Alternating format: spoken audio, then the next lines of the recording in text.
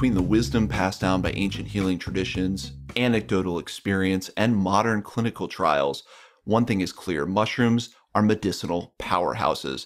And I finally found a brand, a product, a company that I feel really aligns with all of my research and understanding when it comes to the medicinal properties of mushrooms, and that is Alchemy Mushrooms.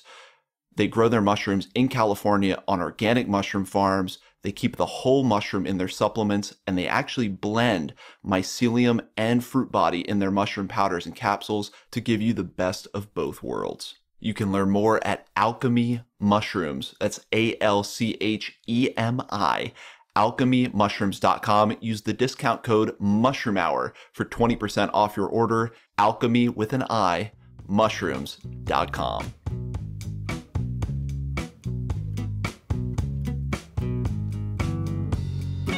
Hi there. Welcome to Mushroom Hour. Today on Mushroom Hour, we have the privilege of speaking with Mark Williams, founder of Galloway Wild Foods. Through his work in the wilds of Scotland, Mark hopes to share his passion for foraging and the delicious and nutritious food that we can all gather for free in the wild. In so doing, Mark's goal is to restore vital connection between humans and nature, increasing our intimacy with the natural world in ways that are beneficial to our own physical and mental well being and the health of ecosystems of which we are part. He teaches about the full range and depth of wild food and foraging, including plants, fungi, seaweed, and shellfish. These practices take Mark across a diverse range of habitats, from high mountains through forests, hedgerows, urban settings, and down to the coast. He covers all areas of foraging, including traditional and modern food uses, health and nutrition, traditional and modern medicinal uses, survival and bushcraft, wild booze, and lots more. Mark, thank you so much for joining us on the Mushroom Hour. Well, thank you for having me. It's nice to be here.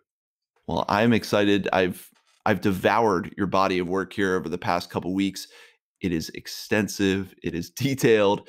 Uh, it is hugely inspiring. You've done a lot of great educational posts and videos. So, yeah, I'm just excited to dive into it all. But inevitably, as we get started, I always like to hear what inspired your journey into foraging and this relationship with the natural world. Yeah, I suppose um, my, my family were very outdoorsy. You know, we, we used to like climbing hills together. I have early memories of climbing up um, mountains with my dad, getting very wet and cold, uh, having socks on my hands and shivering. And uh, I just, uh, you know, I kind of you know, what doesn't kill you makes you stronger. And I really took to that and, and kind of enjoyed the outdoor life.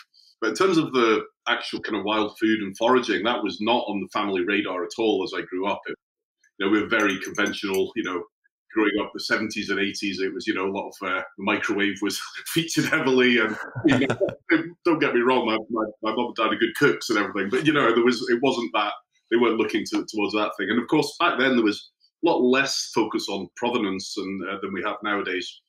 So, you know, everybody was kind of waking up to that. Yeah, so I kind of got into food, into the foraging side. Well, my first spark was was mushrooms. Um, that's the thing mm. that really got me excited. I think in a way I probably fell in love with the hunt first of all, rather than you know it was a finding, it was a search, it was that anticipation and working out the clues that really really excited me. And kind of developed a little bit later, you know. Yeah, so I was probably about 16, 17 and got, you know, started getting excited about it. Well, and that was something we talked about before the show is how mushrooms end up being this entry point for people to explore the natural world, get into all kinds of foraging. You know, it is this interesting gateway, the endorphins and whatever ancestral DNA we tap into when we're out foraging. Mushrooms seem to be somehow like a focal point to get people into that. Absolutely, yeah. And I, I, just there's so many strands to that, but I think a lot about what really connects people to to make excites people about fungi, and then and from their foraging. And certainly one of them is that kind of mystery of fungi. When you don't know what when you don't understand about mycelium, they are this mysterious, exciting thing that appears. And then for me, the, the early spark with that was, I mean, they weren't on my radar at all, but I was working a summer job in a restaurant. And of course, in the UK, we're quite famously mycophobic culture here, so it's not really on on a wide radar, even for outdoorsy people, or it certainly wasn't back then. Look at the kind of 80s here. and then uh, I worked in this restaurant, and the chef had this book called A Passion for Mushrooms by an Italian chef called Antonio Carluccio. Now, I don't know if he's hit the radar over in the States, but he was a lovely kind of plump, jovial Italian chef, and he was just so passionate about the the, the you know, and uh, and he had great book. It was actually a recipe book, and it was mostly recipes for wild mushrooms, which are kind of fairly meaningless at that time in the UK to you know the vast majority of people. But in the back, he had this little mini mushroom guide, and I think if I if it hadn't been that book and the way he described the mushrooms in that little tiny guide, he only had like twelve commonly eaten species in the back. I don't think I might have connected quite so quickly, or you know maybe I've got mm. there in the end, but you know, instead of the kind of dry field guide, and I mean, even Roger Phillips' book, it's a fabulous mushroom guide, but it's quite, you know, specific and quite scientific, if you like. Whereas Antonio's book was like, oh, I, I used to love foraging chanterelles with my third wife, and I love the way she eased them from her mossy bed with her tender fingers, and you know, just you could just kind of smell it and feel it, and it was just such a great book. And um, I need to I need to find it actually again. I seem to have lost it. It's maybe buried somewhere in the house. But just uh, that really sparked me the way he described them. And um, and the chef I worked with at the time, we were working split shifts in a, in this restaurant, so we would actually have two or three hours to kill between shifts. And we were surrounded. I, lived, I grew up on this beautiful little Scottish island called Arran, just off the west coast. And between shifts, we were surrounded by all this forest. So we thought, rather than do naughty things like have a beer, we'll we'll actually try and do something healthy. So we would go out and started looking for for mushrooms. So that was the kind of that was a spark for me. And uh, when I, when I teach nowadays, I always try and remember that first year or two when everything was a death cap. You know, that could probably be a death cap. You know, that, that could be it. And I try and kind of bring that to mind. Just you know, when when you're teaching people who are new to that world, just how kind of worrying that is, and how how everything kind of looks the same at that stage. And yeah, we had great fun, and uh, yeah, a few incidents as well. Well, it's funny that your connection was through this kind of more tangible guide about the storytelling and the experience. And I find the same thing. I really connect with books that have this element of narrative or storytelling. Uh, Eugenia Bone's Mycophilia comes to mind as she tells the story of her own journey into foraging for mushrooms. And it's highly narrative. I mean, there's plenty of science mixed in there, but that kind of thing always, I think, makes a fantastic connection. So definitely going to look up the book you mentioned. Uh, and then, you know, but what's unique about Scotland as a mushroom habitat? Because I think of, you know, this windswept, rainy island, which may be perfect for mushrooms. But you know, what's unique about Scotland as a mushroom habitat, and what mushrooms are you finding there? Yeah. Well, I do laugh. I think the west coast of Scotland and the climate of the west coast, even though we're a small country, the west coast of Scotland is fair bit kind of drier, uh, wetter than the than the east coast of Scotland. So, especially in the west coast, I feel like it's kind of autumn for about eight months of the year. It feels hmm. like we get about three months of spring and we get about eight months of autumn, and then we get a couple of weeks of proper winter and a couple of weeks of proper summer. Uh, so you know we have a we have an eight month chanterelle season some years, so or a minimum of six months, depending if we're early or late. You know, we start they start in kind of late spring and they're right through it, still picking them in December kind of time. Madness. It's wet and it's damp. It's like a maritime climate and we have a lot of forest, uh, and that's not all natural forest. We, you know, there's beautiful natural ancient oak woodlands. Uh, valley where I am in southwest Scotland, the Fleet Valley's got all sorts of natural stuff, but we also have vast areas of of planted forestry. You know, uh, Sitka spruce plantations, things like that. And of course, as mushroom people know, you know, it doesn't have to be ancient woodland. Uh, these, there's amazing bycatch from these monoculture plantations that that uh, dominate kind of quite big areas of, of the west coast of Scotland. So um, yeah, it just seems like a I suppose it's a natural fit to. It's, a, it's definitely a fungal environment. Yeah, this thing things want to want to grow and want to rot and, and, and so on. Yeah, it seems like there's a lot of microclimates in there that would be perfect. And I love that you just pointed that out about plantation uh, tree plantations because that's something I've heard now in speaking with foragers from Ireland, Scotland, and England is that there are and appears that Sitka spruce is kind of one of the prime plantation trees that they grow. There are great groves essentially of porcini and other mushrooms that go along with these tree plantations. So something for all the UK foragers out there to think about is those big tree plantations also end up being kind of wild edible mushroom plantations. Absolutely. And I mean, in, in fishing, they talk about bycatch. You know, they go to catch one thing and uh, and they come back when they'll, they'll have a load of crab as well in their in their creels or, or whatever they're doing. And I see I see the the, the fungi as, as an amazing bycatch of this essentially pretty not not great uh, habitats, you know, impenetrable to most people uh, uh, plantations. And uh, I think we're very lucky that Sitka spruce is so mycorrhizal and so you know it's got diverse partnerships and lots of good ET stuff in there as well. I actually um, one of the few other kind of parts of the world I have gone mushroom hunting is in the Yukon in uh, North America, uh, Canada, and um, up there they have these vast natural kind of coniferous forests, huge and beautiful.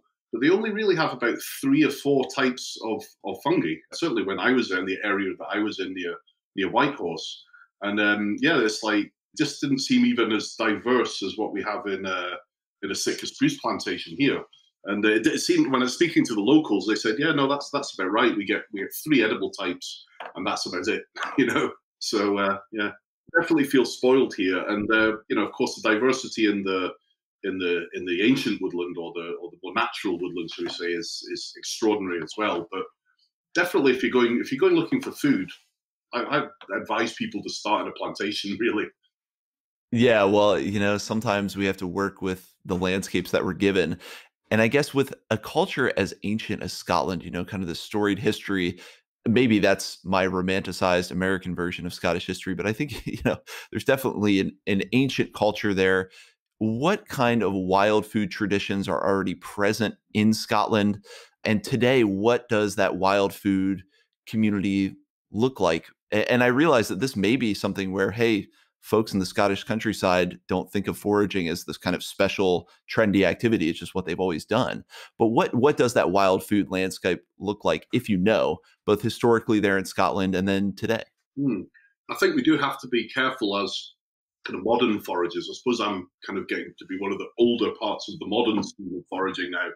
But you definitely have to be aware that there is a kind of a an undercurrent of people who look at all of us with our Instagram photos and all of that, but as if it, and they're all going, they think they've invented something new. We've been foraging forever, you know, and and and there is this long tradition of you know actually going out, but it's. I've got to say, I have, I've had people like that on my teaching events, and they start off with a little bit, not grumpy, but just kind of a little bit kind of, okay, what are you going to show me then? You know, and then normally they, they're like, oh, oh, you can eat that. Oh, you can eat that. You know, and, and I'm not, not showing off about myself here. This is like any foraging teacher nowadays, I think we've really diversified out from those traditional things like elderflowers, sorrel, as most people's on most people's uh, radar. You know, a lot of people kind of grew up eating this sour leaf that they can no longer remember the name of. So there are there are traditions there, but I would think more on the the wilder west coast of Scotland where there's a crofting community. Just for maybe your listeners in the states don't aren't familiar with that concept, but a croft would be like a a small holding, I suppose, would be the closest you have to it. So just a hard living of maybe a few animals, a little bit of rough land because the land isn't it's not good agricultural land generally on the west coast of Scotland. It would be a subsistence kind of existence, and foraging would have made up a part of that kind of um, existence. But generally, what you hear in the you know from the old crofters it's still about is that would have been at times of real hardship. They would then go mm. to the shore and pick things like silverweed uh, a lot of them were passionate about some of the seaweeds like carrageen, dulse, because most of these crofts are kind of coastal anyway. So it would have been part of an overall diet then, but generally, even in that community, from you know old old timers in that world I've spoken to, normally a lot of the foraging stuff was in times of extra hardship when the crops had failed or something like that. So feels to me that there's not like a, massive kind of a more modern tradition of, of foraging. Of course, the ancient, uh, you know, hunter-gatherer ancestors, of course, they would have been uh, out there, and it would have been rich pickings. Uh, yeah, but that that's definitely got largely lost. And I think this this modern movement of foraging is like a rediscovery of some of that really ancient stuff that's kind of got buried in the mists of time, and then a reconnection with that sort of stuff in the last hundred years that traditional post-war kind of foraging scene and then this like real explosion of gastronomic interest because all the chefs are getting into it and food scientists and, and all of that and everybody's looking for the new thing so that i suppose there's those three layers uh, that, it, that it seems to be built on well and then for your own personal pursuit and passion for foraging what is it about this practice of foraging wild food that resonates so much with who you are? You know, is it that gastronomic interest? Is it maybe self sufficiency and the idea, you know, that noble idea of living off the land? You know, what is it for you that makes foraging resonate so much? So I think for me, a big part of it is just being out in the wild and just connecting with places. You know, feeling intimate. I mean, I still think of the 35 years ago now, 30 anyway, found my first chanterelles. And I still remember that exact tree. I could go to that tree on Arran where I found it. And I, suspect the chanterelles being more or less the same place, you know, and that's just magic. That's like, that's like a little cathedral to me. That's, that's, I mean, I'm a hmm. religious person um, generally, but in a spiritual sense, I, that, those are the places that I feel anchored and special. And it doesn't have to be some magical hidden glen or something like that. It's just a place where you've got this extra deep layer of connection because you've eaten from it, you've you've observed it through the seasons, you've you've been there, going there for 20 years, and you're really deeply connected to that bit of land. And and I, think that is that's my kind of source of it. Everything else is a bonus. I would probably be doing that anyway if you know if, if I couldn't kind of eat them or if it wasn't nutritionally good for you or something like that. I'd still be wanting to really deeply connect with all these uh, these places. And I, I, suppose the other part of that, so there's those that familiar side of foraging, which is lovely, and then there's that mystery side of foraging. So what am I going to find? And I think that touches back to what we talked about earlier on with mushrooms, especially when you're near the start of, of kind of learning about mushrooms. It's it's a bit of a mystery and a surprise.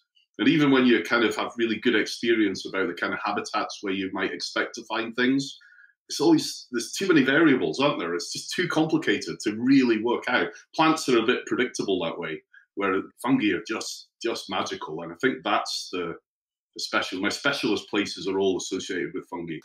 Yeah, I love that idea. And it's almost like this concept of paradoxes that are so alluring. I love that you just brought out this there's familiarity with foraging, of both places you're familiar with, of tapping into, as you said, a tradition that our ancient ancestors would have all engaged in. You know, foraging is the domain of all humans. So it's something hugely familiar to us on one level, but then there's this mysterious aspect on the other hand. So there's something alluring about that paradox brought together in one activity. I think you just elucidated it beautifully. Uh, something else you brought up is the coast. You know, another huge foraging habitat you brought up is the coastline. Uh, and you mentioned a couple species of seaweed, and but how much of coastal foraging is still kind of this untapped resource? Because I think a lot of people are familiar with foraging mushrooms and wild plants, but I don't hear as much about coastal foraging. Uh, so, do you see that as kind of an untapped resource, or how is that relationship for you developed with foraging the coastlines for wild food? Oh, um, it's it is an immense uh, kind of more untapped resource, I suppose you could say, and uh, vast as well when you start getting into seaweeds, but also coastal succulent plants that are essentially the aristocratic grandparent, great, great, great, great, great, great grandparents of all the broccoli, kale, all the things that we're planting and growing in farms now. They they grow wild around the coast, around Galloway. Wow. So I've got to say, I mean, I, have been I've been eulogizing about fungi, and that it will always be my first foraging love. But I've got to say, being on the coast, like, oh my goodness, uh, yeah, on a spring day, and there's this like vast, vast amount of, of greenery, like deeply nutritious, deeply de- delicious greenery. I'll give you a couple of examples. There's where the seaweed, the dead seaweed, builds up at the high tide line. In about April, around here, these little shoots come through, and this is a Orach, O R A C H E. It's a, a, relative of fat hen, I suppose. This is a coastal variety of that. But it, it starts as these little succulent shoots, and within about a month, there's this like hedge of like just just titanic quantities of greenery that come up so quickly, and it's super. Especially in spring, it goes a little bit bitter in the summer. In other areas, we've got a plant called sea kale, which is like purple sprouting broccoli, I think is probably how most people would connect with that. Uh, just an amazing kind of purple little shoots, broccoli florets. It has flowers that taste of honey. It's just exquisite and the most beautiful thing. And um, and when you go to actually forage it, you know, people worry that foragers will take too much, but I guarantee anybody who's connected with this plant is just like standing in awe, admiring, going, "Wow, you're beautiful," you know, and then nibbling little bits of it, you know. And um, I'm very lucky in Galloway. It's there are places around the UK where it's under pressure, and it is um, you know protected in some areas. But we have some vast areas of it, three mile stretch, where you can literally walk along just above the high tide line, and every every two paces there's this enormous plant of food and succulents.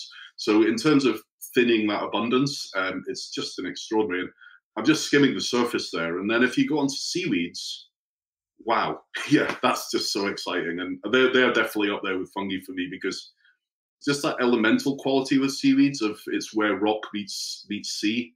Mm. The actual feeling of being there, especially on a wild day where the waves are breaking in, you've got to plan ahead and be a bit careful. But I'm picking them. The flavors are just miraculous. Yeah. But anyway, to get to your question, I think I would say seaweed in particular is, especially around the UK, is such a maritime nation. I mean, this bit of Scotland that I'm in on the west coast has a longer coastline. This tiny little island, bit of our small island, has a longer coastline than the whole of France because it's really it's like fjords. You don't really notice that. It's like these thousands of inlets and sea locks and stuff like that. So we have this vast coastline full of seaweeds, and people are just starting to reawaken to that their potential and their deliciousness. And of course, the country that's most um, kind of has a strongest tradition of that is Japan. Mm. And actually, look at the the kind of physical geography of Japan. It's actually a, uh, quite comparable to Scotland. You know, maritime island nation, lots of sea, and it always astonishes me how how the UK has become so divorced from its from its uh, seaweed heritage. Uh, when it's got such, you know, like such an abundance of that, you know, I mean, some of these things have been eaten in the past, but there's nothing like the tradition that they have in Japan. So really interesting the kind of cultural dynamic that has made us made it weird. You know, most people in the UK when they talk about eating seaweed will say, "Oh yeah, it's a bit chewy." You know, it's like because they don't know how to use it, and uh, I guess that's where we come in. Yeah. Yeah, well, exactly. We need Mark to show us how to reclaim the seaweed heritage. And when we're talking about nutritional and medicinal values, you know, I know that's something you discuss with all manner of wild food, but when it comes to seaweed, you know, what kind of nutrition or medicinal aspects of this plant are we able to to connect in with? Oh gosh, there's, uh, so much with seaweed. Um, it's probably I've heard it described as the most heavily mineralized vegetable on earth. And of course, that's a hmm. bit of a generalization because not all seaweeds are the same. It's a bit like people talking about mushrooms as if they're one thing. Of course, they're not. They're, right. they're just as diverse as the plant world. Um, and uh, so there's all sorts going on with seaweed. But I'll give you an example like dulse. Uh, it's a lovely little kind of red seaweed. It's got it tastes. It's marketed now as vegan bacon because uh, it's got this really meaty umami kind of flavor, and it's just really rich. But it's really it's, it's almost nutritionally complete. I've been told.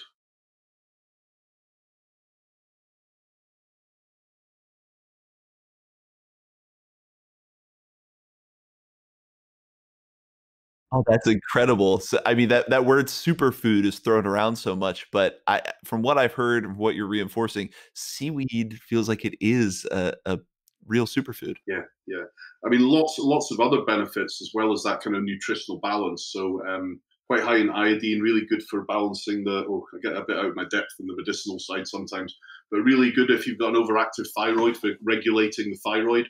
So right. loads of loads of great things. I had for my lunch today. My probably my favourite one is what we in the UK call laver, uh, L A V E R. Uh, the Latin name is porphyra, but in Japan they call it nori, and that's kind of across the world where it's most commonly thing. But the, the right. tradition in the in the UK is to collect this seaweed and you cook it for hours and make it into this paste and mix it with oatmeal and then fry it, and that's called laverbread, and it's a Welsh, actually a Welsh classic dish and uh, that is probably my favorite thing. I make tons of it a couple of times a year and freeze it all in little patties and just take them out and re- reheat them. And it's just like when you eat it, you can just feel the nourishment. You know, you can. It's like eating spinach or something like that. You know, you can just feel it doing you good as you do it. You know, it's remarkable.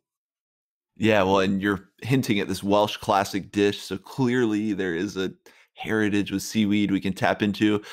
You know, something that I know a lot of people are becoming more cognizant of, especially when foraging in urban areas, but really in any area, uh, mushrooms in particular, because they soak up things from their environment, is considering, you know, the potential for contamination or the potential. Do you have to worry about anything like that with seaweed? That's been my only misgiving about going because the California coast, we get tons of seaweed washing ashore, but I've always thought, you know, can I trust the water source? Is it is that something you're ever concerned about with seaweed? Yeah, absolutely. And you know, just like any other thing that you're picking from the wild, you, have definitely got to engage with uh, that side of things. I mean, where we are in the in Galloway here in the southwest corner of Scotland, across the Solway from us, uh, in northern England, is uh, a, a, nuclear power station called Sellafield. Oh, terrific! Yeah, so and so there is like higher radio, and I get I get contacted by a an academic about every three or four years, and they do they're doing surveys of people who are using a lot of things from the wild, and they're doing this for the nuclear power people so they can check who's consuming what. And, you know, so yeah, no, it's definitely on my radar. Now, I'm kind of what I tend to do because seaweed, you, you can harvest a year's supply of seaweed in a couple of days on a good tide up the west coast. So I tend to, I certainly get some of my seaweed from from around Galloway and Solway, but I'm aware of that.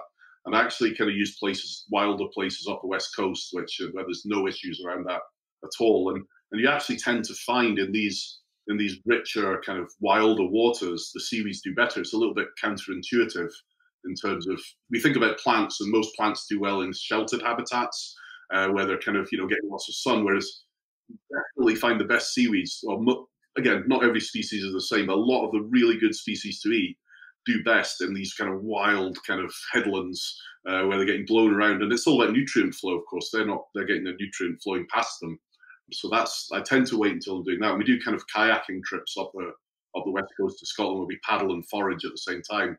And uh, I tend to wait till one of them, and maybe the day after, I'll just go out myself and stock up on a year's supply of seaweed from various locations. So yeah, but that is the joy of seaweed. A bit, it's a bit like you know, with, with fungi, you've, you you might hit a year's supply of cep in, in a in a plantation in one day, mightn't you?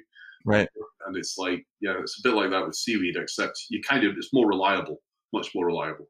Yeah. Yeah. Well, it feels like these coastal environments are really another frontier of foraging. And I think we can learn a lot from cultures like Japan uh, and from cultures there in the UK Isles. You know, there are folks like yourself who are kind of pioneering this resurgence of interest. And that's why it's on my radar. And I think for folks any coastal environment, you know, where I am in Northern California, anywhere, we have access to some of these same plants and seaweed. So I think it's this frontier that that we need to reconnect with because when we think about sustainability, which is always a concern I know for people about mushrooms, but also wild plants, is sustainability, you know, making sure it can come back for future generations.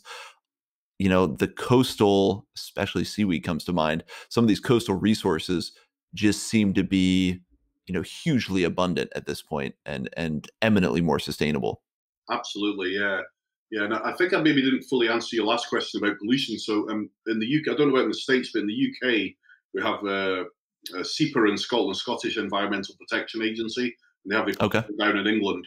And you can actually just approach them, go onto their website, and they report on the water quality for any given area. So you can actually get warnings if there's like a red algae bloom, they will flag that up. If uh, the funny thing about them is quite a reflection of our society, though. Most of the most of their environmental reports about the water quality of the sea is about bathing. It's not about whether you're going to get your food there because nobody really. These people sitting in the offices, kind of assessing the data on these things, aren't really connected with that world, and it's not a big thing over here. Whereas lots of people want to go to the sea and have a swim on the beach, you know. So it, most of it is like what the bathing water quality is like, and of course the standards going to be a little bit different um, if you if you plan to eat stuff from there. I don't know if they're going to be higher or lower, but uh, anyway, uh, so yeah, there's there's definitely a little bit of research to do, but the information is is out there, and I also think a bit of instinct. You know, once you get a little feel for seaweeds, is you, know, you just don't go next to a harbour, a busy harbour, or you don't go kind of near like large urban areas if you can avoid it, and you you kind of go further a bit further afield. So yeah, kind of instinctively kind of feel for that. Sorry, so I'm, ask, I'm now answering your previous question, and I've forgotten what your what your last question was. No, I think you're bringing up a really important caveat, and this is something I'm trying to do, even for mushroom foraging, is have that instinct and have that awareness about the surrounding environment where you want to collect your wild food. Just be cognizant of potential pollutants. So I, I love fleshing this out a bit more because it's very easy to go on social media and say, yeah, go forage wild foods. Look at all these great wild foods but there is that important caveat of considering potential environmental contamination. Not that that should scare anyone off, but it's something to be mindful of. I think you've touched on an important thing there as well. I think there is problem might be too strong, but there is an issue with some of the sort of surge in social media foraging or cyber foraging, I call it, where you know people are showing all this great stuff, but you know on Instagram or Twitter or even Facebook, you know you, you can't put enough information to really awaken to tell everyone what they really need to know about that plant. So you see a lot of kind of partial stuff that's that's great, and I'm, and I'm totally up for that the connection that that brings and the inspiration. But it's like really important to put in a link or some you know here's some further information because you, you, you can't really give give the full picture. And I and I know attention spans are quite short nowadays. Yeah. We're all kind of flicking to the next thing. But I think we just have to swallow it and say, look, let's have you know, let's not worry about getting masses and masses of followers. Let's just go deeper into this stuff and let's spend half an hour doing a proper kind of thoughtful post. Or, you know, I would say to people, I mean, I kind of mentor quite a lot of people who are starting to be foraging teachers now. And I'm like, don't spend hours putting stuff on social media. Write something or make a really good film for your website and just link back to that. And then when you when you are out Instagramming something, you ping out a picture and you add a link to it, and and then there is all that information that people really need access to. So yeah, it's a little bit of a bugbear of mine when you because we can give the wrong idea. You know, I do it myself. It's like, oh, look at this amazing basket of mushrooms I've got, but nobody talks about the four days that you went out and you didn't find a single mushroom. Uh, we know that's what makes it so magical. But of course, you know, so we're giving, we can easily just selling people the wrong idea that this is just about going out and getting. And uh, they don't see so much of that kind of uh, going out and thinking and, and walking for miles and miles. So I think that's our job to stay focused on that. Well, and I think that practice of creating, you know, what you're talking about is kind of these really well sourced reference posts or reference videos that have that depth of information. And I think something that is the output of that is also it greatly deepens your own appreciation. I mean, you may have been foraging that for years, but there's still so much you can learn about it. And I'm thinking of that quote you gave me before the show from Roger Phillips about his great mushroom book. Yeah, yeah. and what that process did for him that I, I, am forgetting now, but what did he say about writing that great mushroom book? I was chatting to Roger Phillips, who wrote the seminal. I know you've interviewed him, but uh, on on this show, and um, he wrote the, the seminal book on mushroom identification in the UK. Like, if you like, David Arora's the man over there, wasn't he, for many years, you know? And uh, but, but right. you know, Roger Roger's the man, and you've chatted to him. Hopefully, people have listened to him on your on your podcast. He's he's lovely. And uh, but it was this beautiful photographic ID guide, and it, you know it, this was written in the 80s, early 80s, late 70s, even around about then. There was no other guides like it at the time. Anyway, so I, I, was lucky enough to kind of go and hang out with him a little bit in the New Forest a few years ago, and I said, like, yeah, I've got to ask you, what inspired you to go out and do your do that book? And he said, Oh, well, that was quite straightforward. I realized that I knew absolutely nothing about mushrooms.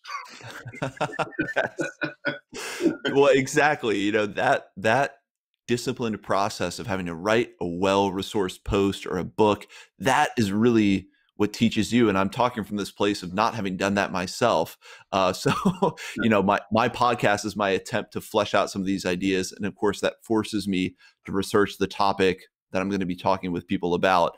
But yes, I think that's such an important element and something you do so well on your website.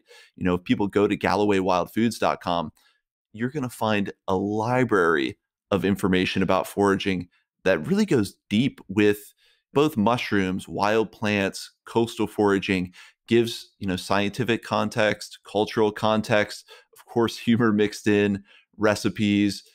That's kind of the body of work that I hope to aspire to is kind of what you put out in that form. Well, uh, thank you, and I'm glad you like it, and uh, yeah, thank you. But what, what I would say from my point of view is that started as a little blog. I mean, I was totally non-tech, but my, about ten years ago, my friend, who was quite techy, said, "Oh, you should you should blog about all your foraging, Mark." And it's like, "Oh no, what, I don't know what's blogging," and barely knew what internet was. You know how quickly we've moved, eh? He started, and I, I realized I love I've always loved writing, and I realized when I wrote about stuff, I had to think about it because you have to organize your thoughts, don't you? And I mean, when I'm when I'm teaching, some people come and they take really meticulous notes when, when you're going. I mean, I've never been that organized, but that actual process of digesting something and transferring it into another form is how you really learn. And for me, I mean, I don't make a lot of videos, partly because there's a lot of people a lot better at that sort of thing. You know, we all have our medium, but I really love writing in a selfish way as well because that's like I'm going to write this, so I'm going to do it right. I've got to organize my knowledge. And I'm like, I thought I knew this about it, but actually, I'm going to research that a little bit more. And that process of writing and recording and starting almost like a diary, isn't it? And uh, is is really, I think it's just a powerful way to learn. I know everybody learns differently, but it works for me for sure. Yeah, well, and it just creates this useful trail of breadcrumbs through every aspect of foraging that later on people can always reference back to. And it was actually your newest post that was one of the biggest eye openers for me. And you had a, post you made about conifers and seeing the flavorsome attributes, the culinary uses and potentials of conifers. You know, so that was something that absolutely blew my mind. So if we can, you know, because every mushroomer knows that we've talked about Sitka spruce, you know, every mushroomer knows the value of understanding what conifers you're dealing with when you're hunting mushrooms. But I've never seen the conifers themselves as this source of wild food. So talk a little bit about how we can develop a relationship with conifers to reap the benefit of amazing flavors and natural cocktails and all other kinds of things that you make with them. Well, I suppose my, my way into really thinking about conifers for more for flavor than for food, I suppose. You know, I don't think of them uh, nutritionally as such. They're not. It's not like eating a vegetable. It's more like flavor. But can, I can talk about a few of the elements. Uh, you know, they've got lots of different edible parts and usable parts my way into that was was through booze, and my, my two big passions in life are booze and, and foraging. And uh, I've been very very lucky in the last I don't know ten years or so. This huge upsurge in botanical gins, and everybody wanted to know about right. what can I use in my gin, and you know, and all of that. So of course, I got to hang out with these distillers, and of course, in turn, they would hang out with really good bartenders, and then you start to learn their, their techniques and classic cocktails, and and the, the relation. It's a bit like working with good chefs as a forager. Same with really good bartenders or mixologists. I don't think that word is really valid, but yeah, I think they call themselves bartenders. Um, mm. Is like the, the forager provides this like amazing new raw flavors, raw materials, and they have these incredible techniques to draw out those flavors. And quite often they'll analyze those flavors. And it's a great chef I work with called uh, Craig Crozier, cooks beautiful food, and he's really into the science and the chemistry of it. So like working with him down the years, you know, he started, and we were working with a gin brand together you know, he he sort of unpicked the chemical constituents. He's like, what he was like, why does spruce tips work so well with gin? And he's like, oh, it's because it's a conifer. And of course, the most important conifer of all is is juniper, without which you can't have gin. Although some modern gins tend to leave a lot of juniper out, but you know that's where the name comes from. So like that's another conifer. There's a big flavor overlap, and you start to look about the relationships between the chemical compounds and you start to get this like lovely little kind of jigsaw of where the wild flavors fit into the all the other stuff. So that that's been my kind of like passion and, and privilege and, and job for quite a few years now, and uh, mm. picked up lots of cool things, and in particular infusing, extracting those flavors of conifers, which are kind of like it's like a library of citrusy flavors from grapefruit through to lemon and apple skins and limes and also all of these amazing things. And that incidentally is because they share these compounds, these terpene compounds, um, limonene and pinene in particular, with with citrus fruits as well. So that's where the overlap comes. It's just the joy.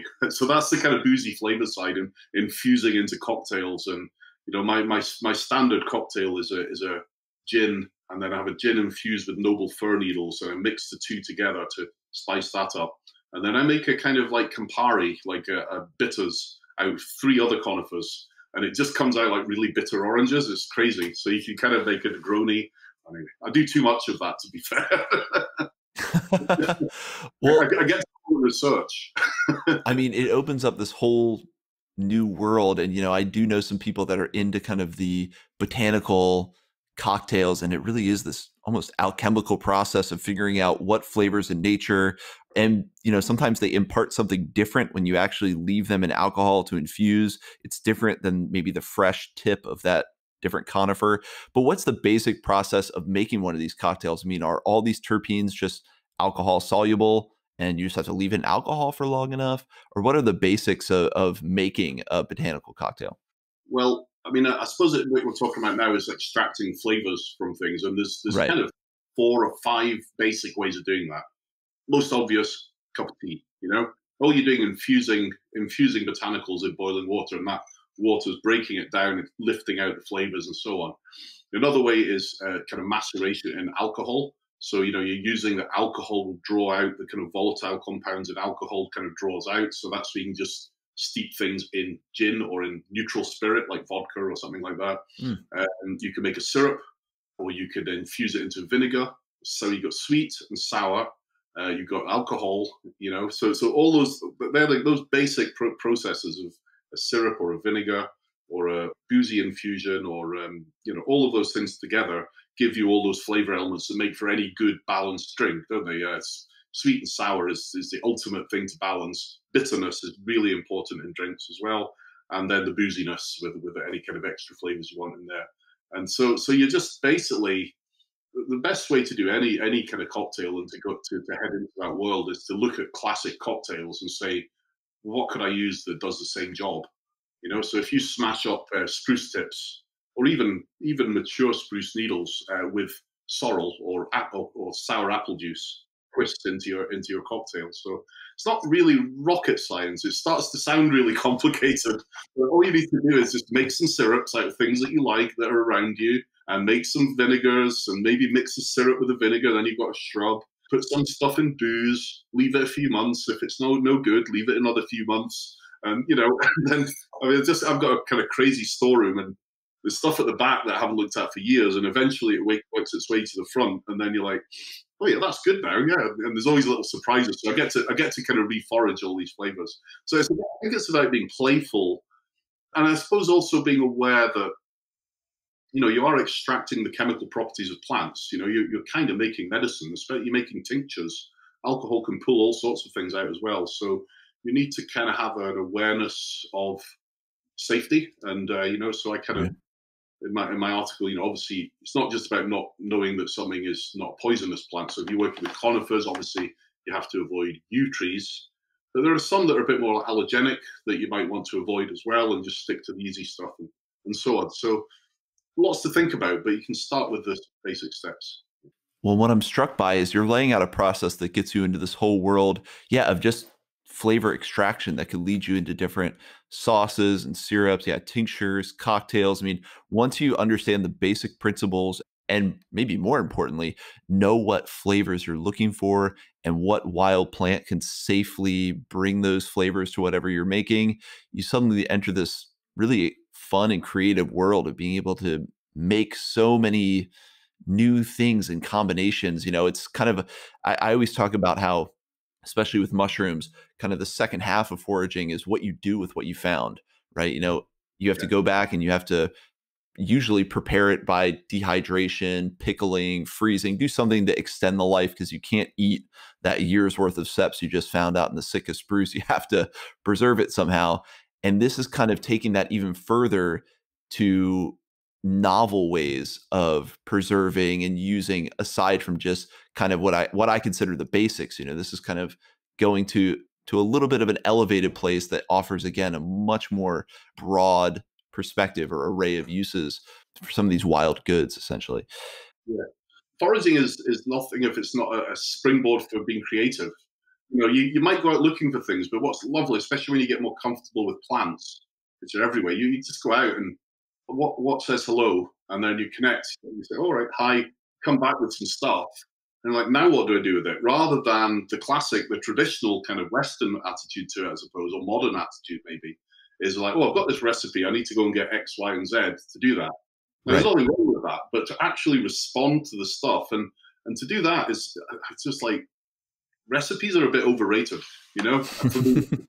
You know, it's like it's like somebody else's business plan or somebody else's taste or somebody's trying to push. You know, and and it's great. There are some simple combinations that are that are kind of important, but then they're very seldom complicated. They're you know they're pretty straightforward, and and really after that, it's it's kind of up to up to you to kind of find what works for you. I think. And I did want to tell you about uh, one of my favorite things to make. So one of my big kind of hobbies with plants is making vermouth, which obviously uh-huh. ties really well, like you know bitter fortified wine, I suppose you would call it, aromatized wine. And I fortified it with all sorts of plants. But then I thought, well, surely mushrooms are going to work in there. So I made a mushroom vermouth with like eight different types of fungi. And uh, it's really good, really good with whiskey. Very, very good with whiskey. And uh, mind blowing using mushrooms in cocktails. Yeah, yeah, yeah, yeah. They have this kind of, you know, um, beefsteak fungus works really well. A friend of mine down in the who forages down south, uh, Peter, he um, he raved about it for years, and I was like, that's crazy. But he just takes beefsteak mushrooms, slices them up, puts them in vodka, and leaves them for at least six months, and it comes out like a rosy port or something like that. You know, like boozy, like a bit like sloe gin that we make up here, but quite fruity and quite tannic because, of course, they grow on oak trees. So they're, they're bringing the tannins from the oak trees into into the booze. So I use a little bit of that. Um, a little bit of uh, chanterelle infused in vodka is lovely, brings out some of that fruitiness. Cep is always amazing. A few ones that are probably slightly more partyish, if um, just a tickle, a tickle of the more exciting um, uh, psychedelics, just for my personal use, you understand. personal and, uh, educational use, always. Yeah, and maybe a bit of truffle on top, and yeah, and some medicinal ones, chaga in there as well, bitterness from birch polypore, and uh, you know the, the, the combination is lovely. And it actually goes best of all with American whiskey. I'm sorry to say it, in Scotland, the home of home of amazing Scotch whiskey, but with um, American bourbon whiskey and uh, mushroom vermouth is incredible. Yeah, that's a little bit of sacrilege for for a Scot to to give any kind of deference to American whiskey. it has its place. it has yes, it has its place. But you just opened up another whole perspective of using mushroom extractions in cocktails and I've actually heard something similar with the idea of syrups, you know, where you bury something in sugar and then over time it gradually makes that nice syrup. I've heard people do that with chanterelles and different mushrooms and then use that syrup in you know either directly as a flavoring or mix it with granola or something so it opens up whole new potentials for how we can treat mushrooms because a lot of times on the show i talk about freezing or drying or pickling or you know those kind of standard preservation techniques but using them as an extraction is such an important thing i think to add to the repertoire the foraging repertoire. Absolutely. And what i would say is to any forager, whether you know, however far into it, if you go and hang out with a really good cook, your chef or somebody who's or a really good bartender who's really into flavor, and then you go out foraging with them and you show them what you know, and then hear about their techniques, because that's how you pick up those really cool techniques for for grabbing those flavors, how to lift best lift those flavors. I mean, some of the chefs I work with are they go into so much meticulous detail, and they're amazing. You're never going to do this at home, or I'm not. Right. I'm quite lazy, but you, you, know, you can definitely pick up gems and nuggets. And it's like, well, I'm not going to make it quite as nice as he does, but that's his full time job making food, you know. But you, you can definitely get gems of wisdom and, uh, and and little techniques for getting the best flavors out of things. So yeah, hang out with it. It's, it's a perfect synergy, a chef and a, and a forager. Absolutely. And do we have a Mark Williams Galloway botanical gin in the works? Have you ever thought about making your own brand of whatever kind of botanical cocktail? I've kind of helped a lot of people at the early stages of connecting with their stuff, but I've, and I suppose my shelves are full of things that are infused into gin, but I'm not into consistency. So I'm never going to be a producer of one thing. Well, that is actually one thing I'd love to have a go at that with, but I would need to be working with somebody who's really organized and, you know, but um, what I want to do is like everything I make is different, you know. So that, that mushroom vermouth I made last year, or like I'm going to make it different this year you know, and, and it's gonna it might be, is it gonna be better? Well, maybe I'll enjoy last year's better, but I've learned something on the way, and I, I just can't be bothered with consistency and all this like measuring things out really finely. It's a bit of that, bit of that, taste, taste, taste. Got to be a little bit careful with that when you're making vermouth because you do a lot of a lot of tasting and before you know it, yeah, you're done. right. So you're more of the mad foraging scientist R and D team uh, that kind of brings forth these amazing ideas. And we've talked about then kind of the culinary and the drink uses, and you hinted at some of the medicinal. Where do wild foraged plants, mushrooms, you know, seaweed, where does that feature in terms of your medicinal use? And this can be a topic that can be contentious for people. There are people that dismiss medicinal qualities as, oh, that's a lot of hand waving. And then there are people that obviously have had hugely powerful experiences and are ardent believers in medicinal qualities of wild foraged plants and mushrooms. Where do you fall on that spectrum, and do you use any of these finds for any medicinal purpose? I, I do use lots of things to support my health. I am a long way from being a kind of health nut, if you like. Uh, you can see me; I'm definitely, you know, you know, yeah. And for, for me, I think that the most important thing is to eat biodiversely you know so it's not about going and finding x superfood or something to cure that or something you know it's about like you know, I look out my window now. This I know there's like 300 things I could pick within 10 minutes walk of my house, and, li- and I'm not saying I'm eating all of them every day. But over the course of a year, you're getting that like real biodiversity. Some of them aren't particularly good for me. You know, I, I eat quite a few things in some of the foraging guides. Was like, oh, don't eat this or don't eat too much of it.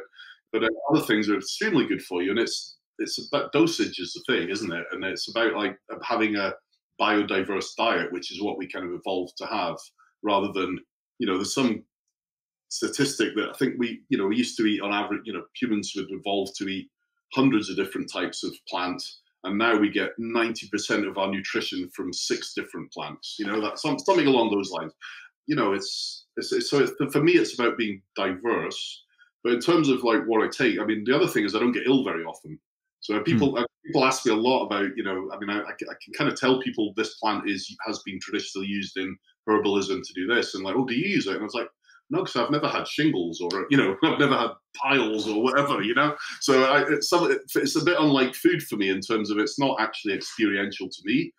Uh, you know, all the stuff I talk about food wise, I've eaten them, and I can you know say, well, actually you can eat it, but I don't particularly like it. But you know, you try it. The medicinal stuff is a bit more kind of feels a bit more theoretical to me because I do feel like I don't especially need it. I don't get ill. I'm very lucky that I've not been ill. What I do have, I take every pretty much every day through the winter is uh, either chaga tea or birch polypore tea. Probably alternate between between the two. And I throw turkey tails in when I'm making stock pots, you know, like boiling up beef, uh, deer bones or something like that. Yeah. And uh, just little things for me that are kind of like flavor and that's probably going to be quite good for me. But not in an organized or sort of I don't have a kind of a regime or anything like that, you know. So yeah. Well, I think you're bringing this perspective that's so powerful about wild foods is just engaging the practice of eating these diverse, ultimately nutrient-rich foods because they're pulled from usually healthier, vibrant, you know, wild environments. Just by eating those over time consistently, you know that is medicinal quote unquote in itself you know and that's one of the big insights that i got in speaking with different herbalists and different people who are into the practice of using certain medicinal wild plants and mushrooms to treat certain symptoms almost the ubiquitous advice is what you just described was that well you just really need to eat a diverse array of these plants and mushrooms over a long time period and that's the only way you're going to see benefit. You know I know there's this explosion here in the States of like medicinal mushroom tinctures and those kind of things, which probably do have, and the research shows they do have medicinal qualities, but taking those, you know, for a week and then kind of forgetting about it and then, oh, a month later, that's not going to have the same effect as consistently having some wild food in your diet that has some of those same medicinal qualities. So I think there's that overused adage food is medicine, but I think you really elucidated that well how wild food, a wild food diet, can be medicinal and healthy. I, I think so, and uh, and also you know the mental health benefits of just getting out and being out there and, and looking and connecting and doing uh, you know doing by doing, not doing by by talking about doing, you know, but but actually, is there's just something deeply practical about it. And I mean, I think the big thing as well is it's kind of easy. I live in a beautiful kind of you know mixed habitat, you know, glen. There's loads of forests and hills, and the coast's not far away. You know, I think it's really important. This this doesn't have to be done in the countryside. There are there are stuff around us all the time, and it, it may be less. I mean, I, I surveyed our valley, and there's about 300 things in, within 10 minutes walk. I've done the same in parks in the middle of Glasgow or London, and there's still 50 things. And mm. of course, not everybody can go get them, but you know, like you know, they are going to get under a bit more pressure if foraging kind of uh, gets more popular there. But you know, a little nibble here or a little taste there like so many people come to me and they're, they're really actually super worried about like what what's my impact going to be? And we've been we've been kind of like conditioned now because we have made such a mess of the earth you know as a species.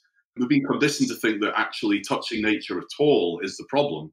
It's not. It's about our disconnect isn't it? And so yeah i think that there's just really powerful things we need to need to kind of really work on there.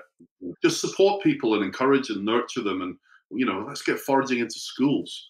You know, why why are kids not taught about you know what they can eat, what they can't eat in school? So that's the big picture, I guess.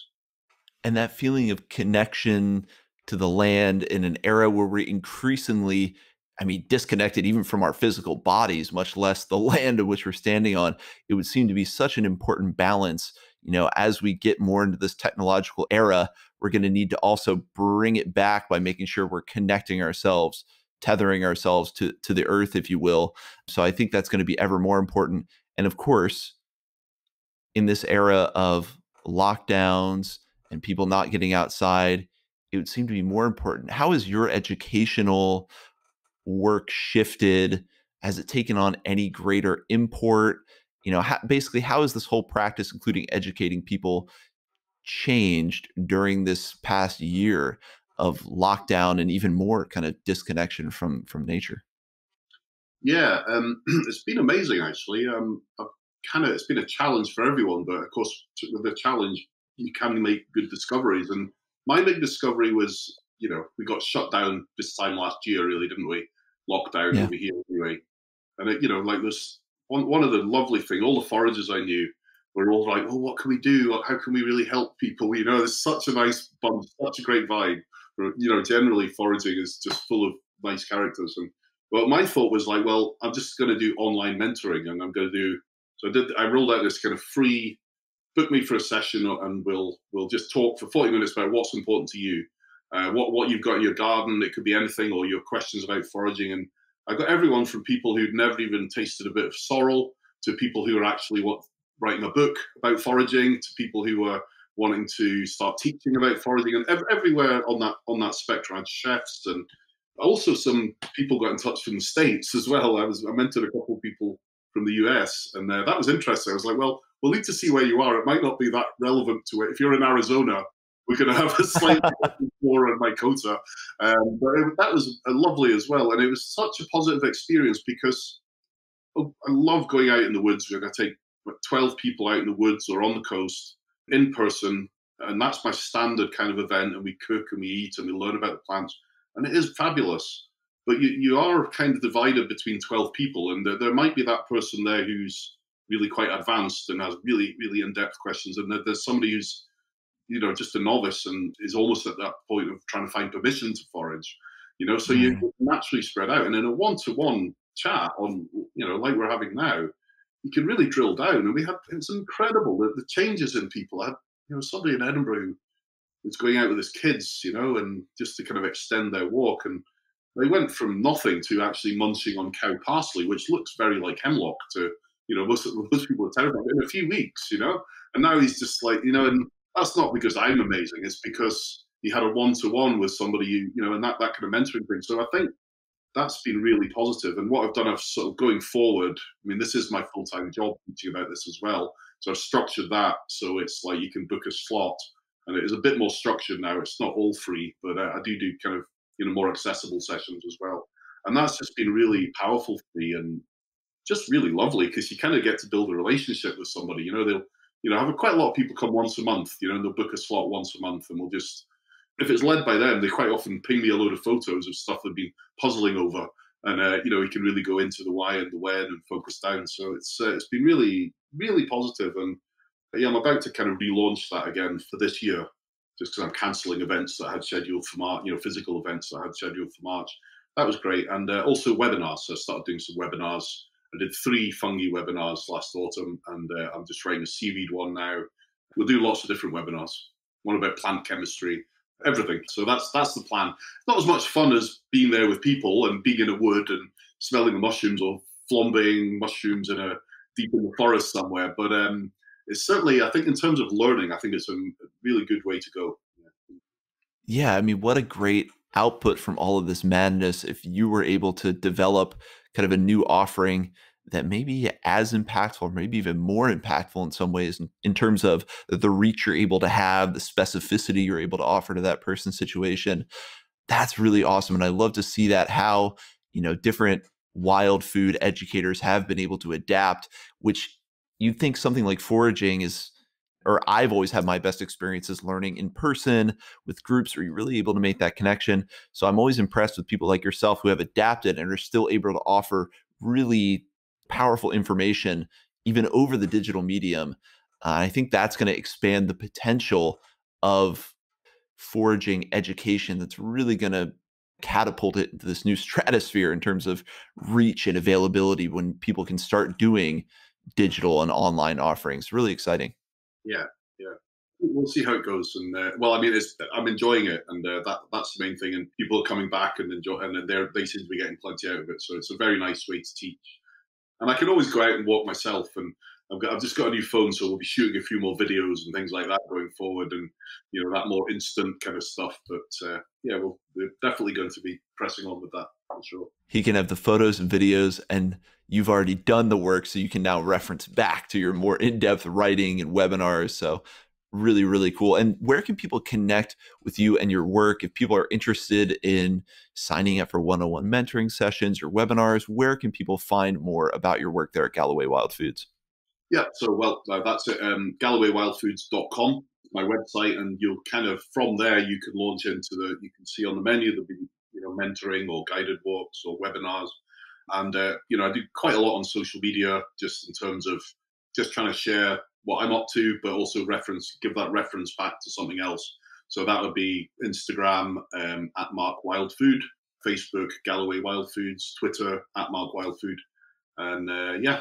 yeah, and actually, social media has been a great way for to see it down the years. Uh, I started on Twitter about ten years ago, and you know, even that that Twitter was a bit of a weird frontier at the time, you know.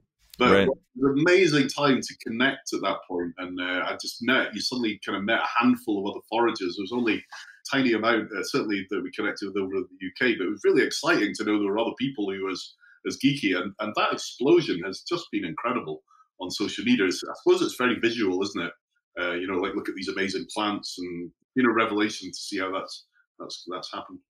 I like to think that educating about wild foods, maybe just nature more generally, which inevitably people who get into wild foods end up learning tons about just the natural world and ecology. And I think having that kind of content on social media is kind of one of the best uses of the medium is these little snippets of especially things like mushrooms, which are so ephemeral. They're almost made for social media where you can capture them and have this snippet of something that you may never find.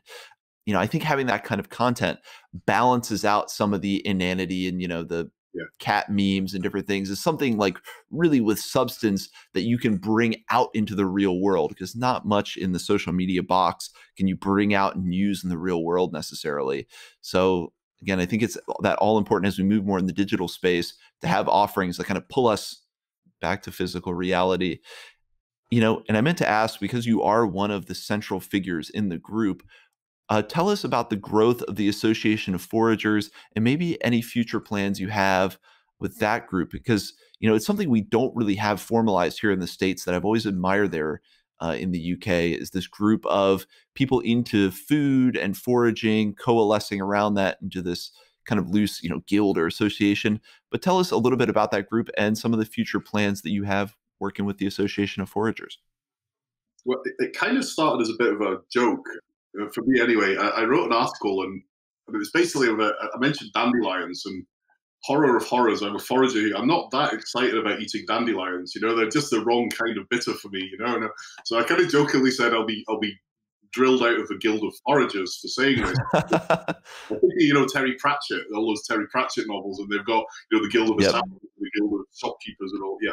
So um, there's a gin uh, distillery over on Islay that I work with. Wonderful, really exciting, uh, vibrant people working there at the time, and and they were just really enthusiastic about about foraging, and they had some money. And uh, I'd been working with them for a couple of years, and they were like, "Do you want to get some more foragers to come and play?" And I'm like, "Yeah, sure." So like they paid for like I basically got to invite all my kind of cool foragers I would like to have hung out with, and I invited like five people. A couple of them I knew sort of in the flesh already, but most of them were just like guys down south and stuff like that. And we we had this kind of wild few days on Islay at the being put up and looked after really well by by the guys at Bruichladdich Distillery.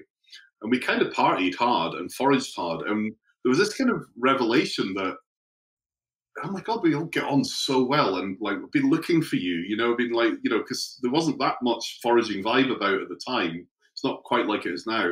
And we just realized that we're not rivals because there was other foraging teachers there who, you know, we're all kind of in the same world we weren't, we weren't rivals. We were just kind of like part of the thing, you know. And it was just just incredibly exciting. Anyway, one of the guys is a nice guy called uh, Andy Hamilton, and he wrote this great book called Booze for Free. You should talk to him one day. he's not so mushroomy, but he's uh, he's good at uh, plants and uh, certainly the booze stuff. And um, Andy was like, "Yeah," and we, I think we just chatted about it that weekend. It's like, "Oh, the Guild of Foragers," kind of jokingly, and he just set up a Facebook group like a week later and said, "Right, we'll be the Guild of Foragers." And then we found out that a guild is apparently supposed to be uh, like something to do with the Queen. You have to be authorized by the Queen to be a guild. Anyway, so we ah. became the Association of Foragers, with affiliation, and then we put feelers out, connected with a few more through that, and then said, right, let's meet up in Bristol, south of England. Thirty foragers turned up after about a year down down in Bristol, and uh, do we? And the question was, do we want to be a thing? that was that was all it was, because you know foragers are kind of crazy, quite anarchistic, chaotic uh, somewhat disorganized, uh, resistant to authority, don't like um, uh, pyramidal organizational structure, you know, all that kind of stuff that right. quite damn right. But we, we decided we want to be a thing. So we've had this wrestle, real, not a wrestle, but, um, you know, we formed, we want to be a thing, we felt this great kind of shared purpose. And then we've got loads of great ideas, but not that many people who want to sit in the front of a computer to actually make them happen. you know, and uh, so a lot of it has been mutual support we've grown. We've only about 120, but the, the idea is it's people who teach about foraging or earn some kind of income from foraging, whether it's supply, something like that. And we had quite a lot of US members, but kind of, you know, the, the big thing we have is one meetup a year where we all go out and hang out and have like 50 crazy foragers running around a Scottish castle, you know, kind of gutting beer and all of that and making cocktails and yeah, it's just amazing. And then yeah, so we've got a good vibe, and we're sort of building that and slowly kind of getting to a point where we're a little bit more organized, and we want to sort of reach out. And you know, if you film it, there's there's some theory about how organizations like this work, and it's forming, storming, norming, and then performing. We, we've kind of formed and stormed a bit, and now we're kind of trying to norm some stuff and get some stuff set up so we can actually kind of reach out a little bit. So yeah, we, we haven't done as much as we've talked about, but who has really? Yeah, and we've got a few projects underway. One's quite exciting. Is kind of like I hesitate to say pet project of mine, but I've been kind of heavily involved in it. And we came from a trip to Finland I had, and um, over there they have a, a, wild food accreditation scheme. Uh, so people get a little stamp book and they go out and they get say, right, you know, this, this, this, this mushroom. You've done your kind of tests with a with a tutor, and and uh, then they can supply those those those kind of mushrooms and they some plants as well. And kind of came back with that thinking, well, God, you know, I'm the last person to get interested in extra bureaucracy or placing any barriers between people and foraging. That is like the opposite of what I am. But we noticed a real need from chefs and uh, wild food uh, businesses that wanted to use wild ingredients but weren't sure. And what about the hazard analysis? What about chemical safety? You know, so if we're actually serious about connecting with the abundant wild foods, and getting them into our food system, then we're kind of going to have to go down that road and talk to uh, the Food Standards Agency, things like that, and conservation. So what, what I've been doing in the last year is just building a framework for that, but also at the point now we've just got some funding to develop it further is to bring in this is pointless if it's just made by foragers so it has to be made by foragers conservation organizations chefs businesses um, Food Standards Agency, and all of these voices, and come up with like what do we think is like really good information to know and share, and what's really important about this species. And big thing about it is, I think the most important thing for me is it's species specific. Mm. Like catch-all rules for foraging just don't work because you, we all know it's not the same to go and pick uh, hawthorn leaves or elderflowers in it, you know, where there's billions of them. Is not the same as going and picking you know knocking chaga off trees where where it's not very common you know? So we, every every kind of assessment any kind of evaluation that we have around it or accreditation will be specific to that particular species. So you just get your box and he's like yeah he's done a level one in chaga or level two or level three. And you know, and, and the other thing i think what we're trying to recognize in that is that nobody knows everything about foraging you know right you know i know people who could spend give you a week's course just on birch trees and they're, they're not particularly interested or don't have any particular knowledge of seaweeds. you know, but it could be incredibly in depth and, and fascinating about that. So why should there be some big general test about the accreditation about foraging? So it's got to be species specific. So that's what we're kind of working on at the moment and trying to just, you know, not alienate anyone because this is not about saying you don't know enough, you shouldn't be doing that. It's about saying, you know, here's some good information, here's a way you can show people you've done that. And if you want to supply, then this might be a benchmark that chefs start looking for to show that they've done their risk, you know, their hazard analysis and it's coming from somewhere that's sustainable or that kind of stuff. So just building infrastructure and that. It's a big project, but it's uh, it's kind of like oh, what we're started. oh no, we're gonna have to spend time behind the computer. Well, you pointed out that you know a lot of the foraging community is kind of this decentralized, dissident network of kind of highly individualist people who I know, like myself, kind of hesitate when we talk about codifying anything or making any kind of structure. Yeah. But I think what you're talking about is really the next step that's going to be needed to make the process more attainable for more people. I think there's basically, I think there's going to be net benefit out of that because in the United States, there are several mushroom licensing efforts taking place both on the East Coast and I think it's starting to matriculate across the country. But one of the common critiques is that it's one big general test that can't possibly cover all of the intricacies of certain species. You know, they'll have some general statement like there is no poisonous lookalike for chicken of the woods, whereas in Pennsylvania and parts of eastern Pennsylvania, there actually is. Yeah. So I like the idea of making it more species specific, which it's interesting that that specificity makes it more inclusive because suddenly you could have loads of people who know chanterelles well enough yeah to be able to get the chanterelle certification, then provide that to restaurants. So I really like the idea you're putting together there. And of course, always bringing in a diversity of voices is going to usually lead to the most stable path forward, especially in the UK, where I've noticed there's this undercurrent of conservationism and foraging as kind of like two ends of a spectrum. And there seems to be some contention there. And I've had different people explain it to me as well. You know, Britain's used a lot of its wild land. So now there's this strong impetus to don't touch nature. And I think the only way to kind of diffuse that is do what you're saying, bring everyone to the table, you know, really get sensible about the information, the facts about how these different organisms reproduce, about sustainability of different species, that differentiation again being hugely important, and then creating this system. I don't know if you even want to call it licensure because I know there are a lot of people who have problems with just that idea. But you know, I think that is a necessary next step. So yeah, I, I laud you for being willing to take that on because I said yeah. most folks I know would be hesitant and want very little to do with that. So yeah, well, believe me, I have been, and I constantly uh, question like, is is this right? And I keep inviting, you know, I, I keep circulating it within the Association of Foragers and now to some other organizations.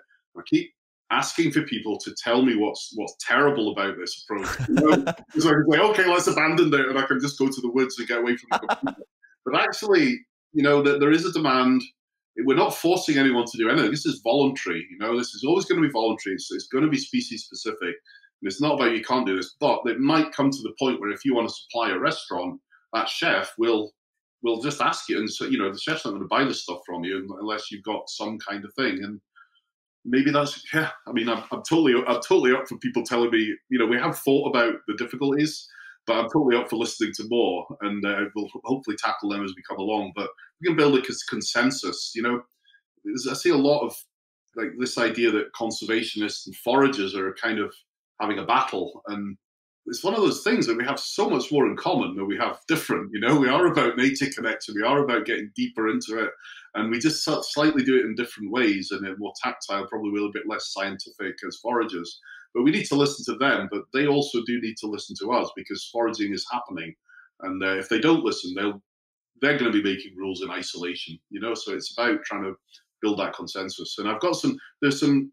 I should also say that the situation in Scotland is a little bit easier than it seems to be in England. We have different access laws in Scotland.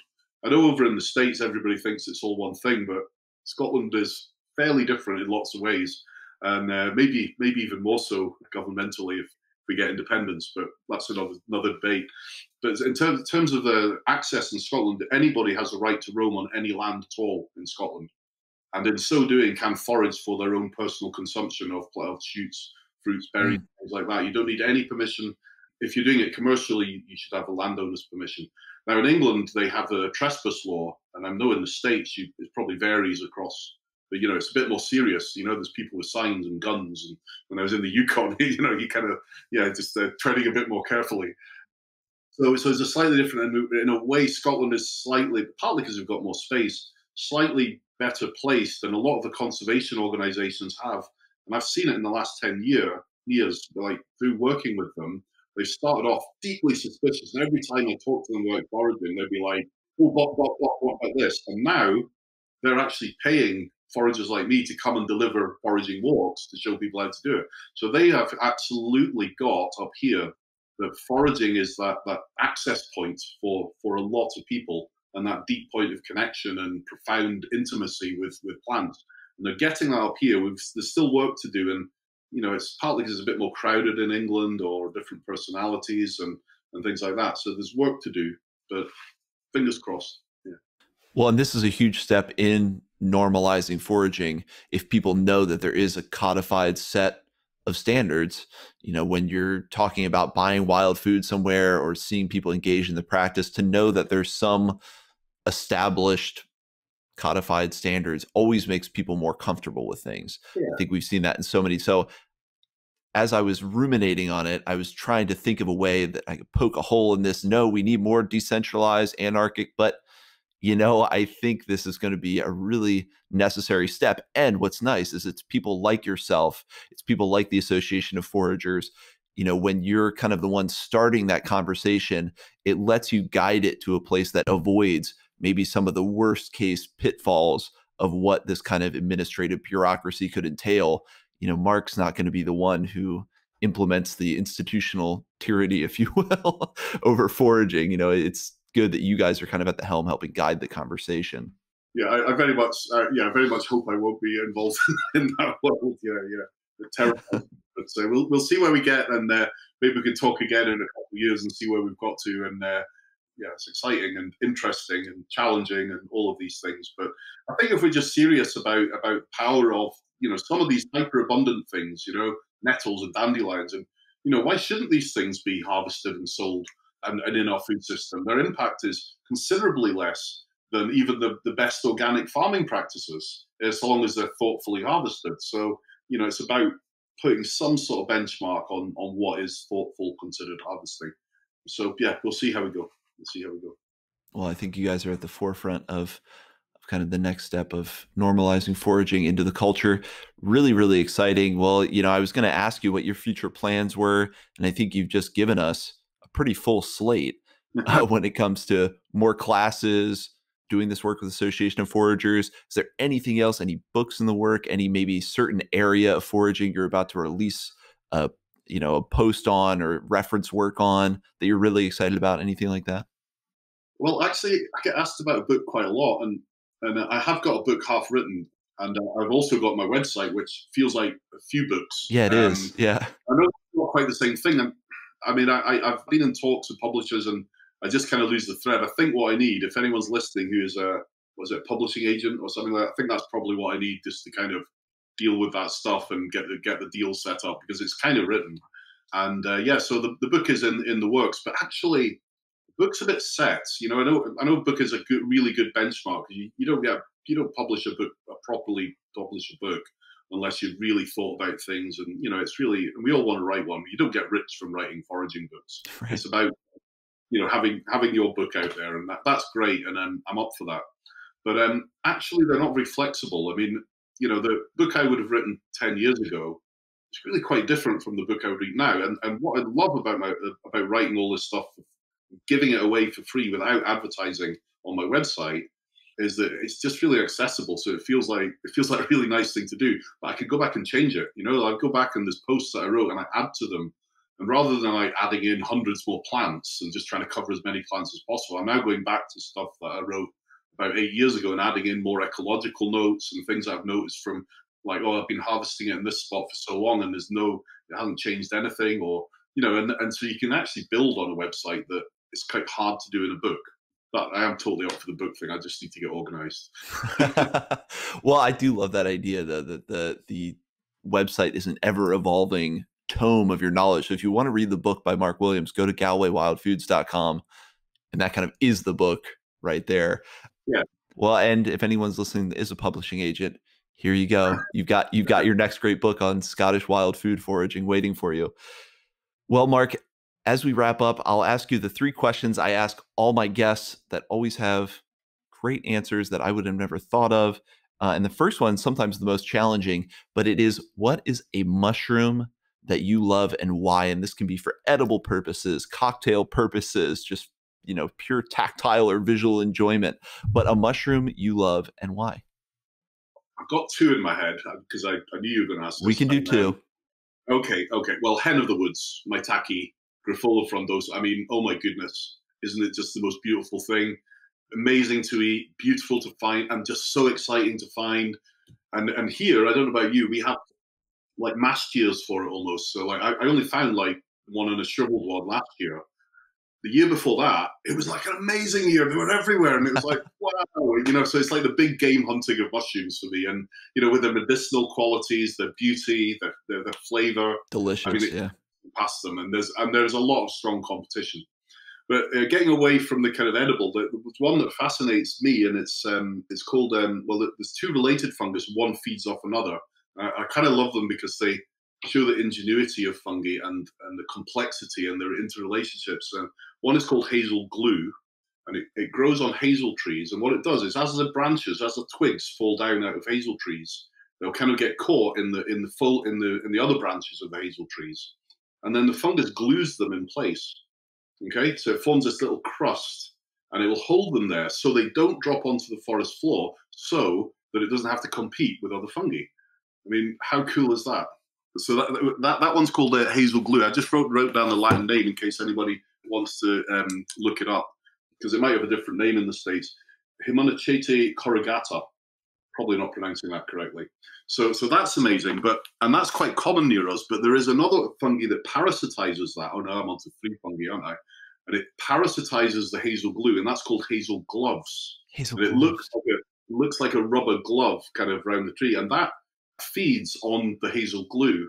And it's quite rare. The only place I've found that is the west coast of Ireland in the Burren, this amazing kind of limestone area.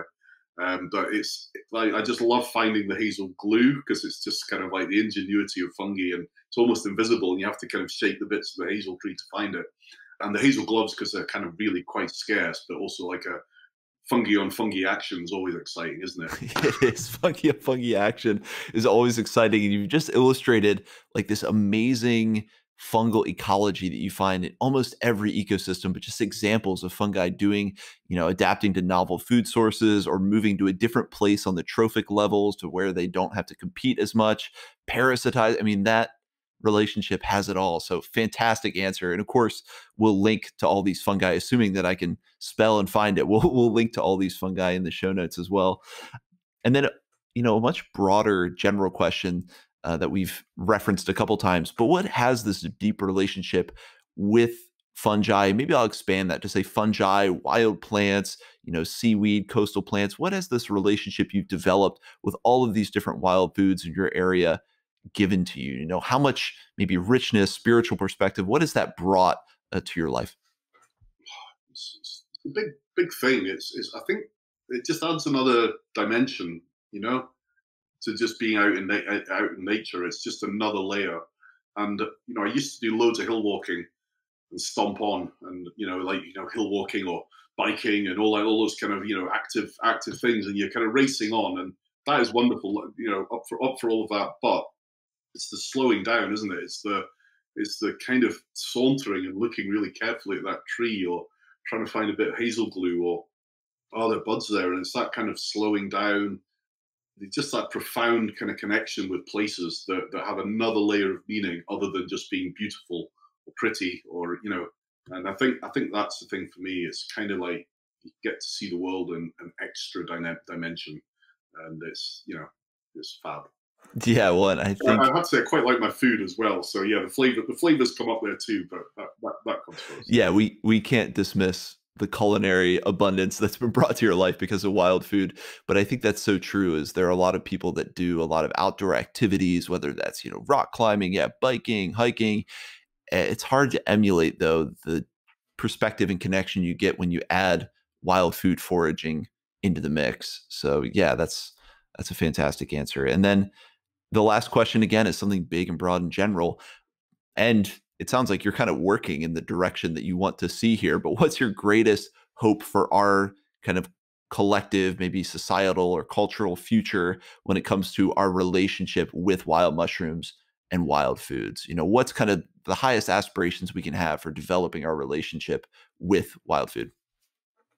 I suppose to pick a kind of a really precise thing is is to have foraging taught as part of the standard curriculum at all schools. Mm. You know, maybe we should coalesce around that that that goal as foragers. You know, you know, because we are this disparate bunch, but I bet we could all agree on that. Whatever our feelings are, is like there should be some, there should be some time for our kids in schools, and it should be it should be on there. You know, maybe that's something we can all kind of coalesce around, and uh, and I suppose I'm only saying that as just a, a sort of more tenable part of that deeper connection that that I think is beneficial to everyone. So. Well, we won't expect Mark to lead that effort as well, uh, but I think I think that is a fantastic idea, and I think so many people. Can I just interject there because what, what it was I was listening to another great podcast, not one of yours, but um, another one, and uh, this guy he just started doing communal dinners uh, with forage food, and he just started building it from there. And what I'd like to do is actually get a class of local kids from our local school and say like, you know, we're going to do a foraging week where we'll do a little bit every day, maybe after school and they'll do a communal meal where we'll all cook a meal for get invite parents along and uh, just start with that and just build from there and it's not part of the curriculum but it's stuff to do with kids and i think you know if we could all reach out to younger people and, and give them that connection that would be fantastic I love that idea. It helps build community. I think the number one thing every forager thinks is, why didn't I know about this sooner? So to be able to introduce kids earlier and earlier on to wild food is going to reap fantastic rewards. And I would say that I love the idea of you know communal meals things outside the school curriculum but i have been blown away with how receptive uh, now this may depend on the area you're in you know i'm in marin county here in northern california there's already kind of a more alternative open understanding of these kind of ideas but school systems have been extraordinarily receptive to the idea of teaching about mushrooms about getting out in the wild you know i was at one of the fungus fairs here in the san francisco bay area and i had a kindergarten teacher who was adamant that I needed to get in there and take kids out foraging. And now this was right before, you know, the lockdown and everything. So that didn't happen. But I think that that effort, even if it's in a decentralized manner, I think we'll be impressed by how much that school systems resonate with that kind of idea. I think more and more educators are realizing how important it is to get kids outside and doing something tactile. It'll make them better learners kind of in all phases of their education. So yeah, a fantastic idea that I, am certainly going to take on board.